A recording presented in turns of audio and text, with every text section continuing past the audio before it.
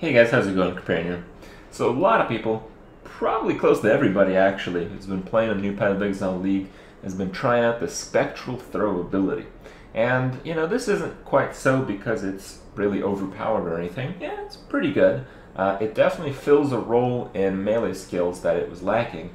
And, you know, I kind of want to go over all of this, how it works, because I'm sure a lot of people who are watching the stream who are just checking out the game for the first time have practically no idea about what's going on, so it'll be quite important to clear things up. So this is my character. I use double strike with spectral throw and leap slam. I don't really use leap slam for man for you know damage or anything, but it does pretty good damage. I use double strike for my single target and spectral throw for the large portion of my AOE. I am sword build using a pretty uh, pretty good sword. Uh, you know, it gets a lot better than this, but you know, it can be pretty difficult to get a sword that good. The reason I chose range is because ranger gets a lot of sword nodes, and the sword nodes are really important for spectral throw because they do increased physical damage. And in this game, there's a very big separation between increased physical damage and increased melee physical damage. Because increased physical damage is not melee, and that's important to know because spectral throw is not melee. So if you want proof, you know, you can look at the ability. Spectral Throw is a projectile attack. You can see this right under the uh, nameplate. And when you look at another skill, which is melee, like Double Strike, it is attack and melee. So things like melee physical damage, things like the first few starting points of the duelist, will work on Double Strike in this case, but will not work on Spectral Throw. Similarly, your strength bonus you can see here that 5 strength gives 1% melee physical damage. And again, spectral throw is not melee. So to have your strength impact the damage of your spectral throw, which is another significant source, you need iron grip. to increase the physical damage from strength applies to projectile attacks as well as melee attacks. Because I'm using both projectile and melee, this is a very good uh, point to get. I'll upload this build for those curious and uh, what I'm planning to do with the Ranger in the future. But overall, I want to show you guys how it works. So I'm using two auras, so all my mana is reserved and all my skills are linked with blood magic. You Spectral Throw doesn't actually one-shot the monsters, even though this, this is Merciless Act 2.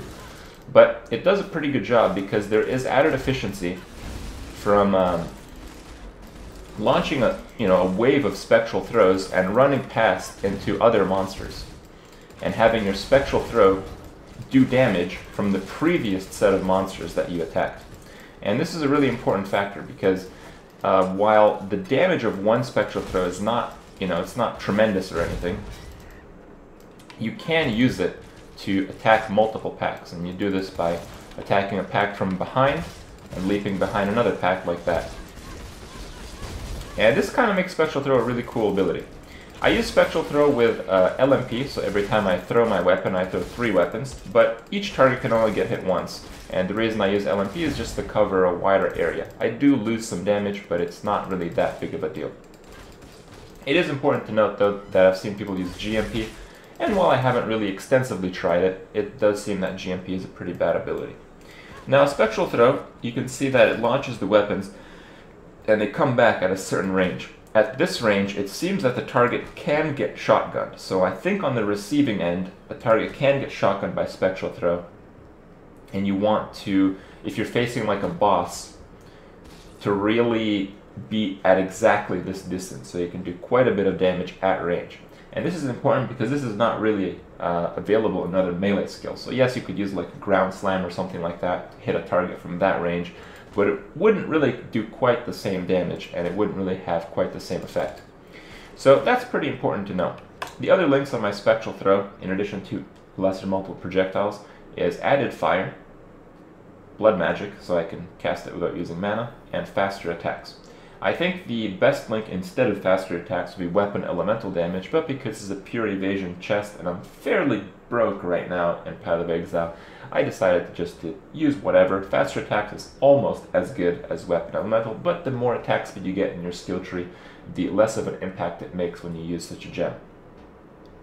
For a double strike, it doesn't really matter, but the concept that I want to show you guys is there are gems that are really good for um, you know other abilities that don't really apply to spectral throw. And these are like melee physical damage because it is a melee support attack. Spectral Throw is not melee, it will not impact the damage of Spectral Throw.